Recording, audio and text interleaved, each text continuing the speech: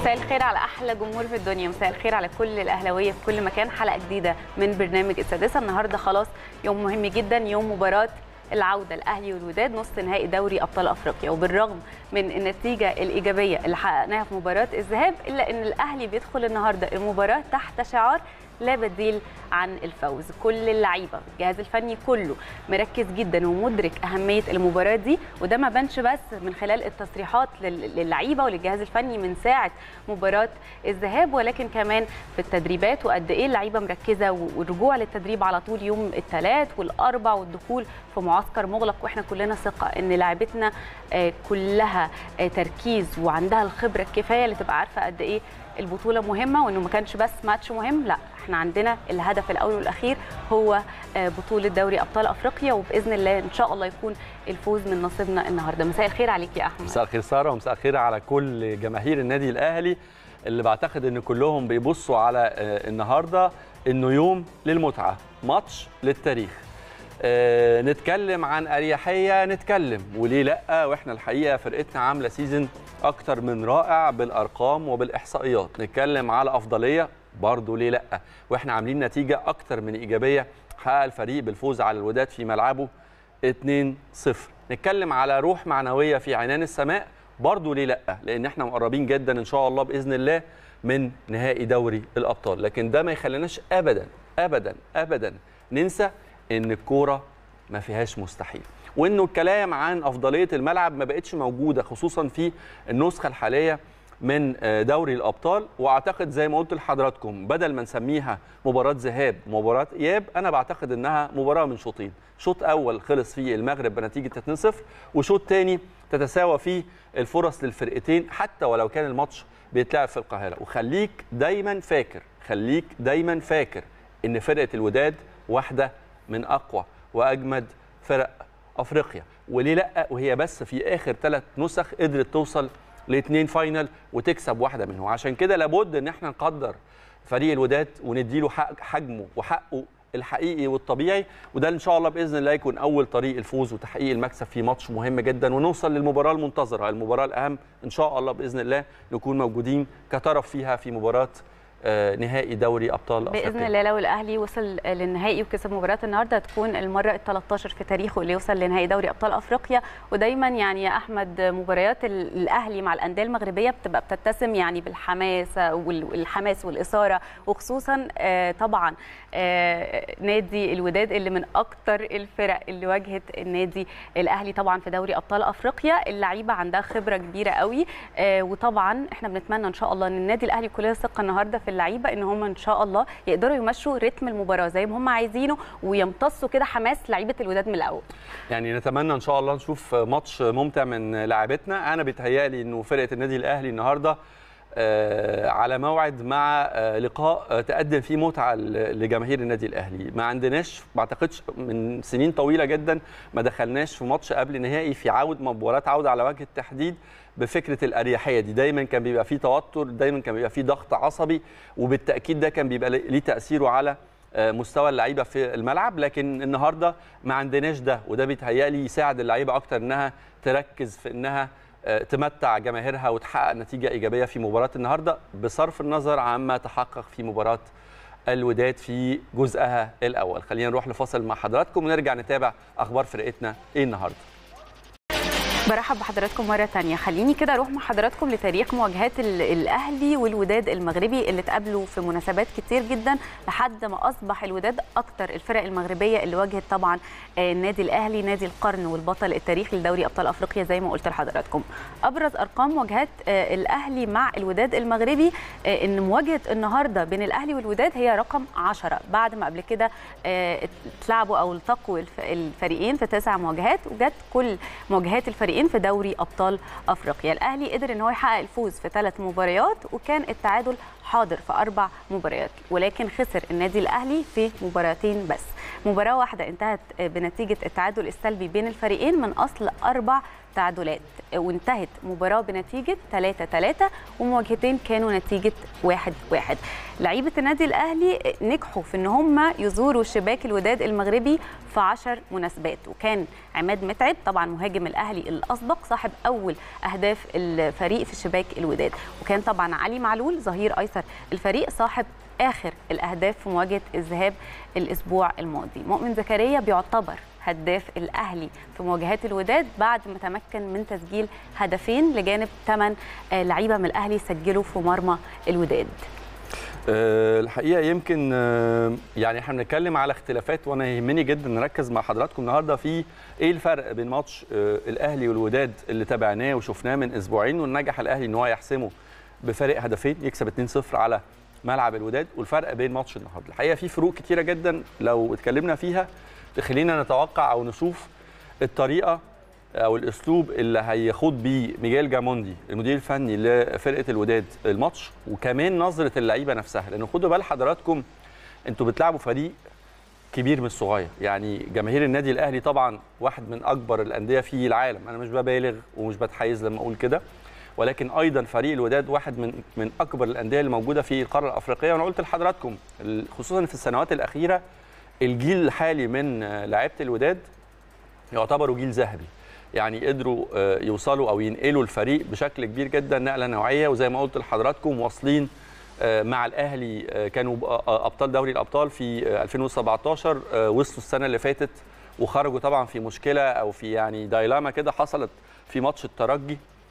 عشان كده بقول لحضراتكم والسنة دي فريق متأهل قبل النهائي وبالتالي إحنا بنتكلم على فريق طبيعي جدا يكون أو نسميه واحد من أكبر فرق القارة. فلما تجرحه في كبريائه ده بيبقى ليه رد فعل.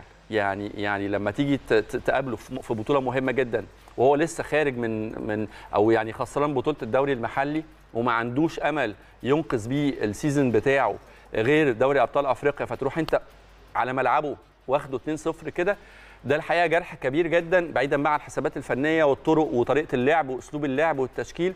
أنا بيتهيألي إنه في جوه كل لعيب هينزل النهارده في ال11 الأساسيين حافز شخصي إنه يرد اعتباره. الجزء الثاني ميجيل جاموندي وهتكلم على ميجيل جاموندي بس بعد ما نروح لمحل أو فندق إقامة النادي الأهلي المكان طبعا العسكر فيه الفريق لمدة 48 ساعة قبل اللقاء. نتعرف على آخر التطورات وآخر أخبار فرقتنا. زميلنا كريم أحمد موجود داخل مقر الفندق. مساء الخير يا كريم.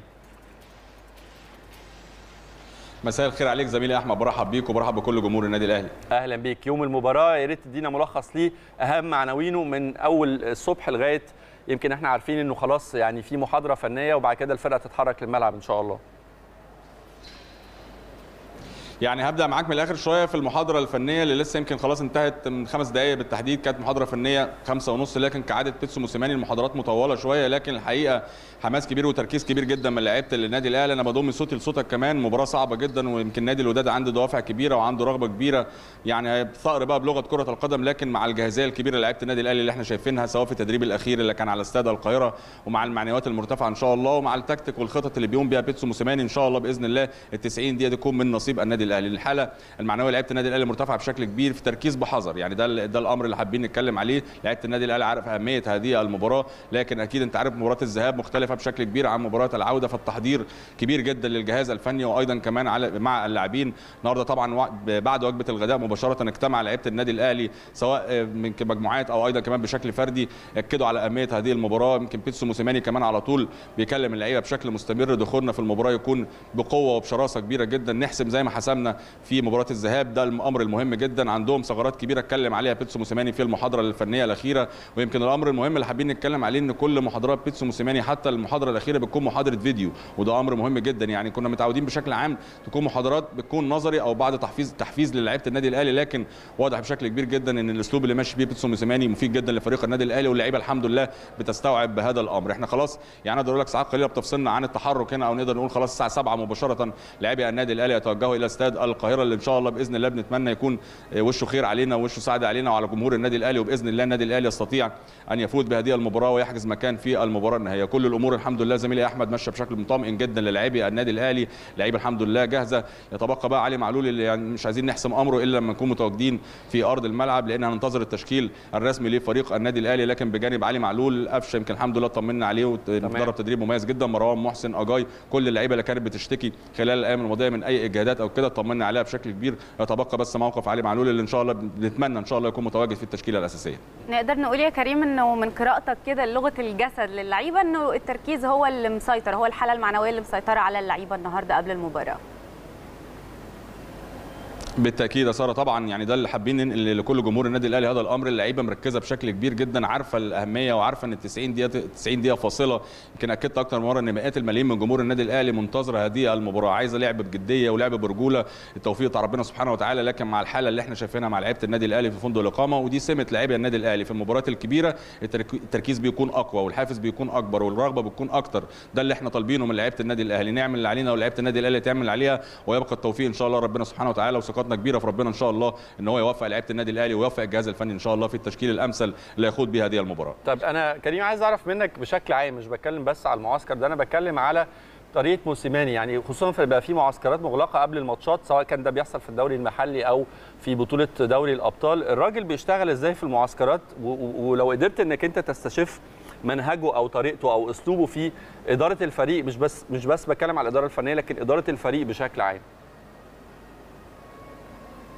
يعني أقدر أقول لك زميلي احمد اللي أنا لمسه في في سواء المباراه الاخيره كمان مباراه الوداد تحديدا يعني لعيبه النادي الاهلي قدر يوصل لها سريعا وده من كلام اللعيبة يعني. م. أما بيكون في جمل تكتيكية وبيكون في شغل فني في الملعب ده أكيد بيكون أمر المدير الفني بيكون مميز لعيبة النادي الأهلي نادي كبير. لكن الأمر النفسي والجانب النفسي وتهيئة اللاعبين ده أمر مهم جدا. الراجل الحقيقة مميز جدا في هذا الأمر. الراجل عامل شكل مع فريق النادي الأهلي خارج المستطيل الأخضر. اللعيبة بتحبه بشكل كبير على طول بتتكلم معاه بيشتغل مع اللعيبة بشكل فردي. الجانب النفسي أنت عارف زميلي أحمد جانب مهم جدا للعيبة لأن لما تجدد الرغبة بشكل مستمر في كل المباريات ومع الضغط الكبير اللي إحنا بنشوفه مع لعيبة النادي الأهلي ده أمر يحسب للجهاز الفني تحديدا لبيتسو موسيماني. الراجل كمان قراءاته الفنية للمنافسين بيحاول إن هو بشكل مستمر يخلي اللعيبة تتفرج على فيديوهات بيتفرج على نقاط القوة والضعف كل لعيب مهامه إيه؟ أنت تنفذ هنا في الحتة دي أنت ترجع هنا. الأمر ده يمكن مهم جدا مع اللعيبة وده أنا بقول لك دي من من يعني أحاديث اللعيبة مش قراءة بس ليا لا ده يمكن اللعيبة بتتكلم معانا في هذا الأمر. الراجل الحقيقة يمكن قام بدور كبير في وقت قليل جدا عندنا أمل كبير جدا فيه إن شاء الله بإذن الله مع استمرارية الوقت إن إحنا نشوف أكتر من كده كمان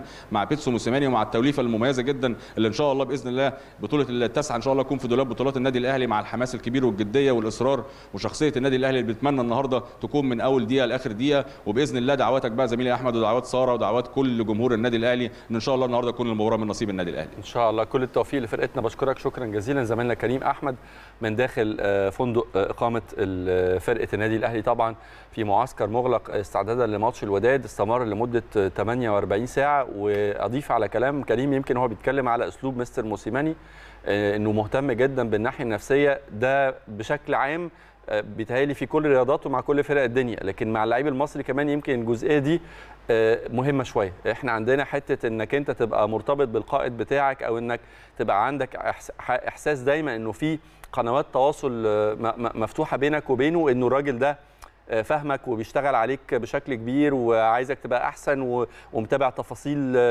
مكانك أو مركزك أو نقاط القوة عندك بيشتغل عليها يطورها إزاي نقاط الضعف عندك إزاي يعالجها. ده كله بيخلي اللعيب بتاعنا المصري بشكل عام وأعتقد في ماتش مهم جدا زي ماتش الأهلي والوداد النهارده كل لعيب بيشارك بيبقى عايز يطلع أحسن وأقصى قدراتهم عنده. خليني بس أرجع كمان سارة للجزئية بتاعة الفروق بين ماتش الأول والماتش الثاني أو الشوط الأول والشوط الثاني وأنا بعتقد إن على مستوى التشكيل طبعا أنا ما عنديش التشكيل وداد اللي تم حطه بسرية تامة لكن أعتقد إنه إحنا هنشوف نفس التشكيل اللي لعب ماتش الذهاب باستثناء تغييرين تغييرين بالمناسبة حصلوا في الماتش اللي فات. أعتقد النهارده هيبتدوا بشكل أساسي في في في مركز راس الحربة أو في هجوم الوداد. أعتقد إنه الوداد اللي هيلعب النهارده بكازادي كاسونجو هو المهاجم الأساسي أو المهاجم الأصلي اللي نزل على سبيل التغيير في المباراة أو في الجولة الأولى. كمان أعتقد كومارا قلب دفاع هينزل النهارده. وبرده كان واحد من التغييرات اللي لعبت في اتلعبت في الماتش ال ال الأولاني. أعتقد النهارده هيبدأ في الناحية الدفاعية أو كمساك في خط الدفاع نادي الوداد. والاثنين دول خدوا بال حضراتكم أنا بقول لحضراتكم الاثنين دول إضافة سواء دفاعا أو هجوما لفرقة الوداد. لكن في النهاية أنا بقول إذا كنا بنعمل كده ميزان قوة فرقة النادي الأهلي أتقل في كافة المراكز وبكافه وفي كافة الأرقام سواء زي ما قلنا لحضراتكم ومش على مدار مواجهة الأهلي الوداد فقط لكن على مدار موسم كامل. والله يا أحمد هو برضو اللي مطمن الناس ومطمن الجماهير دايما تصريحات موسيماني إن هو متفاهم مدى صعوبة المباراة دي وإنه فعلا مش معنى إن إحنا قدمنا مباراة كويسة وأداء كويس ونتيجة إيجابية على أرض الوداد في المغرب إنه الماتش ده هيكون سهل أو تحصيل حاصل. ويعني هو الجملة لما يقول إنه زي ما إحنا قدرنا إن إحنا نكسب الوداد على ارضه بهدفين نظيفين الوداد قادر إن هو يكسبنا على أرضنا بهدفين نظيفين طبعا لا قدر الله وإن شاء الله ده ما يحصلش ابدا. بس تصريح زي ده بيبين قد إيه الراجل فاهم كويس قوي ومدرك كويس قوي إنه المباراة دي مش سهلة ابدا وإن هي صعبة زي مباراة الذهاب زي مباراة النهائي بإذن الله لما نتأهل سواء كنا هنلاعب الرجاء أو الزمالك. يعني ما فيش ما فيش ولا مباراة في المرحلة اللي إحنا فيها دي فيش ولا مباراة خلاص هتكون سهلة ابدا. صحيح. وبمناسبة الكلام على الفروق كمان لازم نتكلم على ميجال جاموندي المدير الفني ل آه نادي الوداد آه يمكن جاموندي يكون شاف الأهلي فيديو لكن ما لعبش الأهلي على الأرض. وأنا بيتهيألي إنه الراجل فوجئ اولا بطريقة اللعب وأسلوب اللعب وبالمستوى اللي ظهرت عليه آه لعيبة النادي الأهلي فرقة النادي الأهلي بشكل كامل وفوجئ بطريقة اللعب اللي لعب بيها موسيماني مباراة الذهاب. واعتقد زاد الطين بله بالنسبة من وجهه نظره يعني من وجهه نظر جاموندي إحنا بالنسبة لنا مفيش طين خالص حصل في الماتش أو إحنا نتمنى إن النتيجة دي تتكرر. لكن من وجهة نظرهم هو اللي زاد الطين بله هو الهدف المبكر اللي سجله قفشه واللي خرج لعيبة الوداد بره مود الماتش وادى للنادي الأهلي أو لفرقة النادي الأهلي أفضلية كسبت من الناحية النفسية وساعدتهم بشكل كبير جدا إن هم يأدوا مباراة قوية بالشكل ده لغاية الدقيقة 90 وكان ممكن النتيجة على فكرة تبقى 3 و4 لو وفقنا في الفرص اللي أتيحت لينا. لكن ميجيل جاموندي النهارده مختلف. ميجيل جاموندي واجه الأرض الأهلي على أرض الملعب في مباراة في المباراة الأولى وبالتالي قدر يحط إيده بشكل كبير جدا على مفاتيح لعب النادي الأهلي وقدر في خلال الأسبوع يحضر لاعيبته أو يجهز لاعيبته على طريقة اللعب اللي من وجهة نظرهم يتمنوا من خلالها إيقاف مفاتيح لعب النادي الأهلي ومحاولة قلب الترابيزة محاولة إن هو يدخل بتكتيك معين أو بأسلوب وطريقة لعب معين يحاول يصدر حالة التوتر لفرقة النادي الأهلي. عشان كده بقول النهارده الأهم هو الشوط الأول والأهم هو الجزء الأول من الشوط الأول. لو قدرنا إن شاء الله بإذن الله بإذن الله إن إحنا نسجل أنا أعتقد إنه النتيجة حسمت بنسبة 90 ل 95% وما أعتقدش إنه هيبقى في أي مصدر خطورة أو حالة قلق من نتيجة المباراة بشكل نهائي أو المواجهة بشكل نهائي. أتمنى إن شاء الله وأعتقد طبعا مستر موسيماني بالتأكيد اتكلم في ده ووجه لعيبته إنه ربع ساعة أو ثلث ساعة الأولى من الماتش مهمة جدا. كل دقيقة هتعدي هتصب في مصلحة الأفضلية النفسية والارتياحية للنادي الأهلي وتصدر حالة التوتر لفرقة والضغط العصبي طبعا على فرقة الوداد. أكيد يا أحمد وفكرة التعامل النفسي لموسيماني مع كل اللعيبة بداية من أول مرة جه فيها من أول مباراة كانت مباراة أنبي وشفنا قد إيه في لعيبة متطورة بشكل كبير اللي هو إزاي في ماتش واحد بس شفنا ده ده كان نفسيا تطور نفسي اللعيبه مرتاحة نفسيا للراجل ده عارف يتعامل معاهم كويس قوي.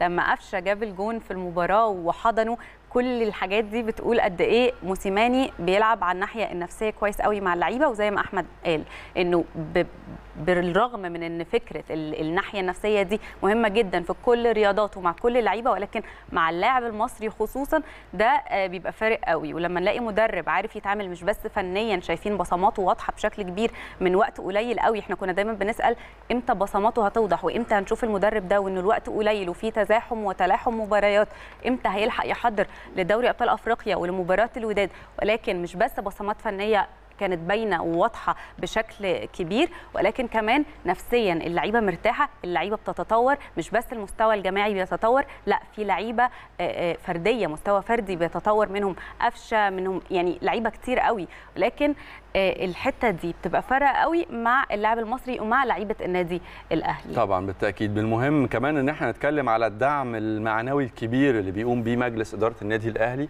واللي يمكن بيترجموا اهتمام كابتن محمود الخطيب إن هو يسافر مع بعثة الفريق ويترأس البعثة في مواجهة الوداد. النهارده كمان إن شاء الله كابتن محمود وأعضاء المجلس الإدارة هيكونوا حاضرين مباراة الفريق عشان يقدموا دعم معنوي لفرقة النهارده. وخصوصا طبعا إنه في حرص كبير جدا على نجاح الفريق في مهمته السنة دي وتحقيق حلم النجمة التاسعة. نروح. قبل ما نتكلم هنروح إيه؟ للحكم. أنا كنت هقول هنروح لفاصل ونرجع نتكلم على حكم. جوميز لأنه واحد من حكام الحقيقة المميزين واللي لما تعرفي إنه تولى مسؤولية مباراة لفرقتك تبقي إلى حد كبير جدا أنت كنت بتقولي قبل الهوا إن أنت مطمن للحكم. لمستوى التحكيم.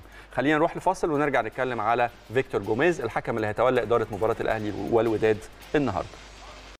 زي ما قلت لحضراتكم الوداد ما عندوش حاجة يخسرها وهيلعب النهارده بمبدأ الكل في الكل.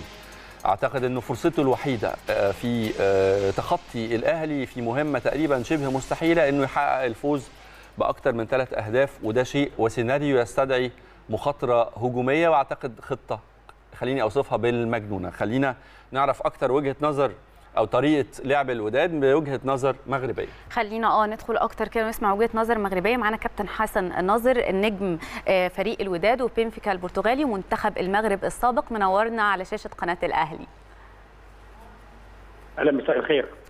آه خليني أسأل حضرتك كده في البداية يعني شايف إن التأهل لنهائي دوري أبطال أفريقيا اتحسم للنادي الأهلي ولا لم يحسم بعد وإن الوداد عنده فرصة النهارده آه في استاد القاهرة إن هو يخطف التأهل ده أو يعوض النتيجة اللي فاتت؟ هو بطبيعة الحال نحن نعرف نعرف قيمة الأهلي ومستوى الأهلي. نحن نحترمه يعني نعترف بتاريخ الأهلي وقوة الأهلي.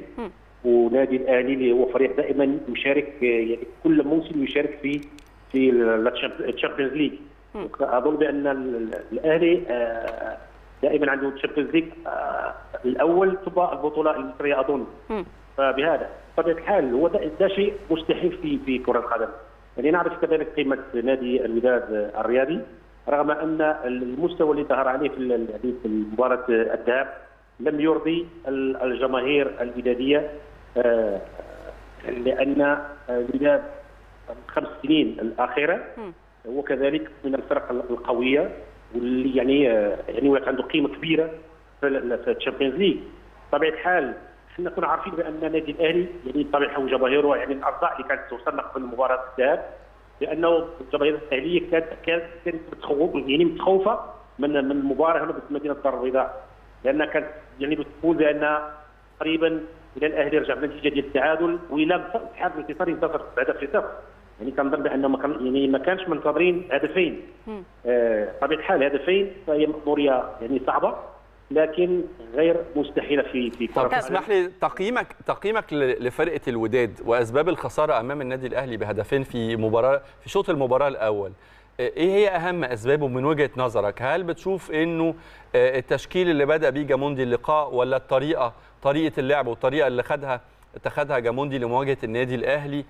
ولا تراجع في مستوى أداء اللاعبين؟ يعني تقييمك الشخصي كابتن حسن لمستوى الوداد في المباراة الأولى وهل من الممكن إنه في خلال أسبوع تحدث طفرة في مستوى الوداد وهو بيواجه الأهلي في القاهرة؟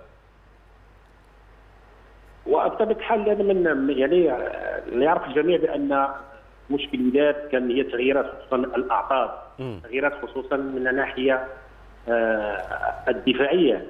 والتشكيله اللي ظهر بها الوداد أمام الأهلي في مباراة الذهاب يعني ما كانتش منتظره لأن لأن كنعرفوا بأن جبران هو وسط ميدان. آه مش دفاع مش قلب دفاع. قلب دفاع. آه يعني هذه من بعض التغييرات اللي كنظن بأن اثرت على الفريق وكذلك مردود بعد بعض اللاعبين لأنه حتى الآن يعني لم يظهروا في هذاك المظهر من بينهم الكرسي آه بن حسوني يعني بعض العناصر اللي ما كانش ادائها اللي كان الكل كينتظروا. هذا من العوامل اللي أثرت على على المباراة ديال الذهاب.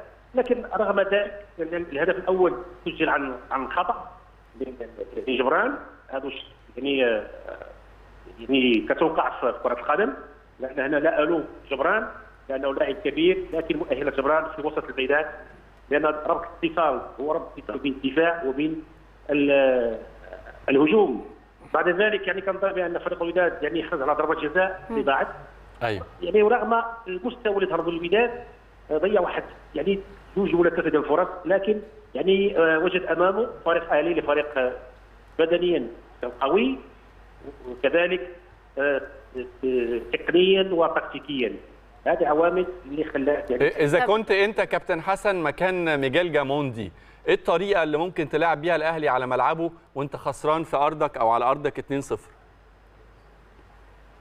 الحال خاص يعني آه، آه، غنلعب باحسن تشكيلة اللي غتكون موجودة عندي. مم. أنا أظن غيرجع كومارا في الدفاع وجبران غيرجع يعني المكان اللي مكانه اللي هو وسط الميدان. آه، هذه التغييرات فهي مهمة بالنسبة لفريق الوداد لكن أظن إذا كان لاعبي الوداد مثل الحداد الكرتي الحسوني يعني أو ولا كازادي في في آه، يعني في أوج عطاء فهذه يعني بامكانهم خلق مشاكل بالنسبة لل- للأهلي آه، لأن خاص دابا الوداد تبحث على تسجيل لكن هذا التسجيل آه، خصوصا إذا كان في في الدقيقة الأولى باش يعني يرجع المعنويات الوداد آه، يعني كذلك باش يتمكن على الأقل يسجل آه، هدفين هدف التع- آه، التعادل إحنا كنعرفوا بأن المهمة غتكون صعبة لكن غير مستحيلة لأنه سيلعب ضد فريق اللي ضد فريق متمرس فريق اللي دائما يلعب la Champions League فريق اللي كما كيف يقولوا بأنه نادي القرن آه، عنده تقريبا سبع كؤوس آه، المهمه تكون صعبه 8 يا كابتن حسن. واظن بأن آه، كاموندي عليه آه، آه، شيء من من ال- من المغامرة إدارات آه، وصول شباك آه، نادي الأهلي. يعني توقعات يا كابتن حسن إن الوداد هيظهر النهارده بأداء مغاير عن مباراة الذهاب في المغرب ال- ال- التوقعات إزاي ال- الجمهور عامل إزاي جمهور الوداد؟ في حالة من التفاؤل ولا خوف ولا؟ هو آه، كاين هناك آه، في تخوف يعني ال- الآراء تختلف. ولكن يعني رغم ذلك يعني كوداديين واظن ب- نفس الشكل بالنسبة للأهلاويين دائما عندكم ثقة في الفريق ديالهم يعني أتكلم عن نفسي كلاعب سابق. واولا وكجمهور وكمحب لنادي الوداد بطبيعه الحال أنا متفائل لأن بحكم تجربتي. آه، شيء مستمر في في كرة القدم فلهذا حننتظر ال- ال- المباراة لكن ال- ال- المهم من لاعبي الوداد بما انك تتكلموا على الوداد آه، على- لازم اللاعبين يظهروا بوجه مشرف أحسن من الوجه اللي طلع عليه في مدينه آه، دار البيضاء في مباراة آه، الذهاب هذه كرة القدم أشوف المستوى به نادي الوداد لأن اليوم هو يوم وليس وليس يوم المدرب. المد- اللاعبين عندهم تجربة آه، لا- تتوقع مين الفريقين اللي يوصلوا للنهائي ال Champions League الإفريقي؟ توقعات يعني مش تمنيات توقعات. توقعاتك الجهاز الاهلي أنا حظي نادي الوداد الرياضي بطبيعه الحال هو فريقي. أحب الفريق. آه، أتمنى انه يوصل للنهائي ويفوز بالكاس آه، والناحية وتبقى تبقى مجرد تمنيات وتوقعات يا كابتن حسن. نتمناها كذلك يعني. مع كامل التقدير والاحترام إحنا يعني بنحترم نادي الوداد وأنا الحقيقة قلت في المقدمة نادي واحد من أكبر أندية القارة الأفريقية مباراة ممتعة طبعاً. على أي حال من الفريقين طبعاً. طبعا, من من أكبر الفريقين في أفريقيا بشكرك وفي جدا وفي ال- في وفي المنطقة العربية فرقتين الحقيقة عاملين نجاحات كبيرة جدا والجيل الحالي من جيل وداد له كل التقدير والاحترام قدر يوصل لاثنين نهائي في دوري أبطال في خلال فترة بسيطة جدا ويحقق البطولة والسنة دي الحقيقة مقدم سيزون ولا أروع ولكن إن شاء الله الغالبه في النهائي للنادي الأهلي. كابتن نشكرك حسن شكرا. جزيلا. هو أحنا بنطبق إحنا من آه، ألو؟ اتفضل. كابتن حسن. إحنا من جانبنا يعني آه، كان يعني كنحترموا نادي اللي هو نادي نادي كبير. ولا نتكلم عن الاهلي نتكلم برئيس النادي اللي هو كابتن محمود خطيب. محمود الخطيب. اللاعب الكبير ماشي يعني غير محمود الخطيب هناك لاعبين كبار مروا بالنادي الأهلي. عندنا عندنا يعني احترام كبير وتقدير لهذا النادي آه، العريق. إحنا كمان كلنا تقدير واحترام لفريق الوداد. طبعا بشكرك جدا كابتن حسن ناظر. كلام كتير عن مباراة الأهلي والوداد وعن فيكتور جوميز آه، حكم المباراة لكن بعد الفاصل. أهلا وسهلا بكل اهلاويه مرة تانية. خلاص آه، يعني دقايق بقى بتفصلنا عن آه، ماتش الأهلي والوداد الواجهة المهمة جدا. وخليني يعني جوميز مش مكتوب له معانا النهارده هنتكلم عنه بس هنتكلم أكيد لأنه واحد من أكتر بالمناسبة جوميز من واحد من أكتر الحكام المتميزين في مش بس أفريقيا على مستوى العالم كله. واحد من حكام النخبة في الكاف وفي الفيفا. بس خليني قبل ما نروح لجوميز ونحكي لحضراتكم تاريخنا إحنا شخصيا كأهلاوية أو كنادي أهلي مع جوميز ومشواره التحكيمي واحد من أكبر الأسماء في عالم التحكيم. نقول لكم تشكيل النادي الأهلي متوقع النهارده إن شاء الله. الأهلي النهارده إن شاء الله يلعب في حراسة المرمى بمحمد الشناوي. في الدفاع هيكون محمد هاني ياسر إبراهيم أيمن أشرف وأحمد فتحي. خط النص أليو ديانج عمرو السولية ووسط الهجوم هيكون حسين الشحات في النص مجدي قفشة آه، على الشمال جون- جونيور اجاييه وفي الهجوم هيكون مروان محسن. أما فيما يتعلق بالوداد آه، زي ما قلنا لحضراتكم واللي تابعوا ماتش ال ال طبعا اللي حضراتكم شايفينه دلوقتي أتوبيس النادي الأهلي آه، أمام فندق الإقامة. إحنا بنتكلم دقائق بسيطة وتتحرك الفرقة إن شاء الله بإذن الله في طريقها لإستاد القاهرة. موفقين إن شاء الله وبالنجاح النهارده. آه، بالنسبة لتشكيل الوداد آه، الحقيقة يمكن اللي تابعوا الماتش زي ما قلت لحضراتكم أعتقد إنه التشكيل اللي ختم بيه الوداد لقاء ال- الذهاب هو اللي هيبتدي بيه النهارده آه، الوداد في حراسة المرمى هيكون أحمد رضا آه، تكناوتي الدفاع عبد اللطيف نصير وابراهيم كومارا وبدر كدارين ونجم الدين إبراهيم. خط الوسط هيرجع يحيى جبران لمكانه الطبيعي وهيكون معاه وليد الكارتي وأيمن الحسوني. في الهجوم هيكون على الطرفين آه، بديع أوك وإسماعيل حداد وراس الحرب هيكون كازادي كاسونجو المتوقع إنه هيبدأ مباراة النهارده. نروح لبيتسو موسيماني والحقيقة يعني حذر بيتسو موسيماني طبعا المدير الفني الاهلي آه لعبته من خطورة ضياع فرصة حسم التأهل لنهائي دوري أبطال أفريقيا يمكن ده اللي كنا بنتكلم فيه إنه قد إيه الراجل ده متفهم ومدرك أهمية آه المباراة دي. آه موسيماني توقع في تصريحات ادلى بها للموقع الرسمي للاتحاد الإفريقي لكرة القدم صعوبة مباراة النهارده على الأهلي رغم طبعا فوز النادي الأهلي في مباراة آه الذهاب بهدفين دون رد. موسيماني قال آه الحقيقة وطبعا موسيماني يعني تولى قيادة الفريق بعد ريني فايلر قال إحنا ما كسبناش أي حاجة لحد دلوقتي. مواجهة الوداد على استاد القاهرة مش هتكون سهلة وأتوقعها مباراة صعبة للغاية ولازم إن إحنا نكون حذرين جدا. وأضاف طبعا إن الوداد قادر على إن هو يسجل هدفين في القاهرة زي ما إحنا عملنا ده آه، في الدار البيضاء في المغرب. وقال طبعا إنه لازم إن إحنا نواصل القتال حتى النهاية علشان نحسم التأهل لدوري أبطال أفريقيا وهي دي التصريحات يا أحمد. اللي مطمنة الجماهير قد إيه الراجل ده مسؤول وفاهم مدى صعوبة مباراة النهارده. آه، ما بيتهيأليش إنه في مدير فني ممكن تحت أي ظرف من الظروف آه، وكانت مباراة حاسمة أو غير حاسمة كانت على بطولة أو غير بطولة ممكن يوصل للاعيبته فكرة إنه إحنا داخلين يا رجالة ماتش سهل يلا بينا نهزر. مش ماتش سهل بس في مدير فني بيعرف يتعامل بطريقة أفضل نفسيا عن مدير فني. في مدير فني بيعرف يوصل للعيبة إنه خلاص وقت الاحتفالات انتهى تماما واللي جاي ده أصعب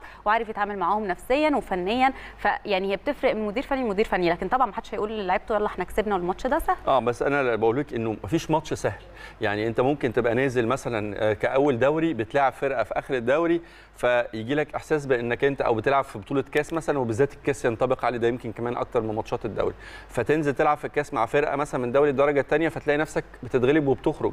فعشان كده بقول لحضراتكم دايما لعيبة الكورة ودايما بالذات الأجهزة الفنية ممكن إحساس بسهولة الماتش يبقى موجود عند لعيب الكورة لكن عند جهاز فني لا ممكن ابدا. مش ممكن جهاز فني كمان يشتغل أو يوصل للاعيبته وفرقته معلومة إنه المواجهة النهارده سهلة وإحنا نازلين نكسب بأقل مجهود. لا ما أعتقدش في حد ممكن يكون بيفكر بالطريقة دي. فبالتالي لما بتكون بتلعب واحدة من أكبر فرق في أفريقيا وبطلة أفريقيا بالفعل و و و و وفي مباراة دور قبل نهائي. انت مش في مش في مش في مش في مرحلة مجموعات سهل انك تعوض نقطة ولا نقطتين تخسرهم. لا انت بتوصل لو كسبت النهارده رايح توصل أو تلعب game آه، آه، final fi- final بطولة. وبالتالي مباراة صعبة بكل المقاييس وملهاش علاقة تماما بتفوق الأهلي في مباراة الشوط الأول. آه، خليني أكلم حضراتكم بقى عن جوميز شوية. ودايما يعني إحنا إحنا في الماتشات اللي من النوع ده اسم الحكم بيبقى في غاية الأهمية. يعني في حكم يطمنك وفي حكم يوترك. جوميز واحد من أكتر الحكام الحقيقة اللي ما عليهمش علامات استفهام. يعني بداية هو الراجل ده حكم لنا سبع ماتشات. آه، آه، في ست ماتشات حكمهم قبل كده. آه، فاز فيهم النادي الأهلي في ثلاثة وخسر ثلاث ماتشات ومفيش أي مباراة تحت إدارة جوميز للنادي الأهلي تعادل فيها. أهم الماتشات اللي أدارها جوميز للأهلي كانت أمام القطن الكاميروني وقدام ال- النجم الساحلي التونسي وكامبالا سيتي وفاق سطيف الجزائري. ويمكن تعتبر المباراة الأشهر ليها معانا إحنا شخصيا كأهلاوية يعني آه، ذكريات حلوة. كانت الماتش اللي لعبه النادي الأهلي قدام النجم الساحلي في نسخة 2017 لو حضراتكم تتذكروا واحدة من أجمل المباريات اللي قدمها النادي الأهلي افريقيا وفاز فيها بست أهداف مقابل هدفين كانت تحديدا في مباراة العودة في آه، نص النهائي. آه، فيكتور جوميز عنده 38 سنة آه، مولود في جنوب أفريقيا ولكن لوالدين برتغاليين وحصل على الشارة الدولية آه، سنة 2011 كان عنده 28 سنة في التوقيت ده. هو أساسا بالمناسبة بعيدا عن الكرة يعني رجل أعمال وعنده مصنع كده يعني مصنع بلاستيك ومحطة لمعالجة آه، المياه وظهر لأول مرة في الدوري الجنوب أفريقي من 12 سنة تحديدا في 2008 وتم اختياره كأفضل حكم في جنوب أفريقيا مرتين. الأولى كانت موسم 2012 2013 والثانيه كانت من موسمين تحديدا 2017 2018 وزي ما قلت لكم واحد من أهم وأفضل الحكام في قارة أفريقية وضمن فئة النخبة سواء في الكاف أو آه، في الفيفا. وليه مشوار طبعا طويل جدا في التحكيم. آه، طبعا جوميز يعني أدار 21 مباراة في دوري أبطال أفريقيا وسبعة في كأس الكونفدرالية ومباراة في كأس السوبر الإفريقي. 12 مباراة في تصفيات كأس أمم آه، أفريقيا كمان. أدار ثلاث مباريات في نهائيات آه، كأس أمم أفريقيا. وأدار ثلاث مباريات في تصفيات كأس العالم كمان. كمان مباراتين في كأس العالم تحت 17 سنة غير 74 مباراة دولية. أشهر خلالها البطاقة الصفراء 200 مرة والحمراء سبع مرات واحتسب 11 ضربة جزاء. آه كمان جوميز أدار أربع مباريات للأهلي في البطولات الإفريقية والظهور الأول في مباريات الأهلي ليه كان قدام القطن الكاميروني في 2017 وانتهت بفوز الأهلي بثنائية نظيفة. آخر مباراة أدارها للأهلي كانت آه فيتا كلوب الكونغولي في موسم آه 2018 2019 وتم اختياره ضمن القائمة الأولية للحكام المرشحين للمشاركة في بطوله كأس العالم 2022 إن شاء الله يكون وشه حلو علينا النهارده. أنا كنت متوقع بصراحة إنه يتم اختياره في مباراة ال final. يعني أنا. بشوف إن جوميز واحد فيكتور جوميز واحد من أفضل حكام القارة وكان يستحق الحقيقة إنه آه، يحصل على إدارة المباراة ال final. ولكن إلى حد كبير طبعا وجوده في مباراة العودة شيء يطمن كل جماهير النادي الأهلي. آه، بالمناسبة زي ما قلت لحضراتكم ان إنه إن المواجهات بين بين الأهلي وبين ال- الوداد آه، برضو نتيجتها بتصب في مصلحتنا. إحنا لعبنا مع بعض تسع ماتشات. آه، الأهلي فاز ثلاثة وتعادلنا فيه أربعة وخسرنا ماتشين. وفوزنا النهارده إن شاء الله يرفع رصيدنا من ال ال يعني عدد مرات الفوز على آه، الوداد بشكل كبير. اللي حضراتكم شايفينه ده لقطات على الهواء بس مباشر وحي من داخل فندق إقامة النادي الأهلي. آه، محل طبعا المعسكر المغلق اللي أقامته فرقة الأهلي لمدة آه، يومين وده أتوبيس النادي الأهلي المفترض إن هو يتحرك كمان دقائق بسيطة جدا آه، وياخد الفرقة إن شاء الله والجهاز الفني في طريقهم لأستاد آه، القاهرة. توقعاتك إيه؟ عشان بقيت أتفائل. لا لا. أسألك أنا مرة بقى. توقعاتك إيه؟ الماتش فاتت قلت لك 1 0 1 0 وكسبنا كسبنا 2 2 0 آه قول لنا النهارده 2 نكسب 4 إن شاء الله 2 0 إن شاء الله 2 0 نتمنى إن شاء الله بإذن الله شايف المكسب قفشه هيبقى عليه. رقابة قوية من جانب مدافعي الوداد؟ بصي كل لعيبة الأهلي اللي كانوا نجوم في مباراة ال- الذهاب آه، يعني دايما برضو لما يعني بيبقى في مواجهات آه، يعني طبعا كل مدير فني بيعمل محاضرات وبيحط خطة وبيدي. واجبات لكل مركز وإمتى تزيد وإمتى ترجع وإزاي. الجناح يرجع يس. لكن ده شيء والمواجهات اللي بتحصل بين اللعيبة والمباريات الخاصة اللي بتحصل بين اللعيبة على أرض الملعب شيء تاني طبعا. أنا عارف كويس جدا إن لعيبة الوداد لما لعبت مع لعيبه النادي الأهلي وشافت لعيبة ظهرت بشكل آه، يعني مميز جدا. عرفوا إمكانيات اللعيبة أكتر فهيبتدوا فن- يشتغلوا عليهم طبعا محضرين أكتر بكتير من المباريات وقفشة وكان آه، هي كل فرقة الأهلي كانت نجوم في مباراة الذهاب ما أقدرش أنكر لكن في لعيبة كانت beyond يعني الشناوي كان كان عالي جدا. أفشة قدم واحدة من أفضل مبارياته مع النادي الأهلي. اللي أتمنى الحقيقة إنه مجدي يستمر على على المستوى. المستوى اللي ظهر بيه في ماتش ال- الوداد.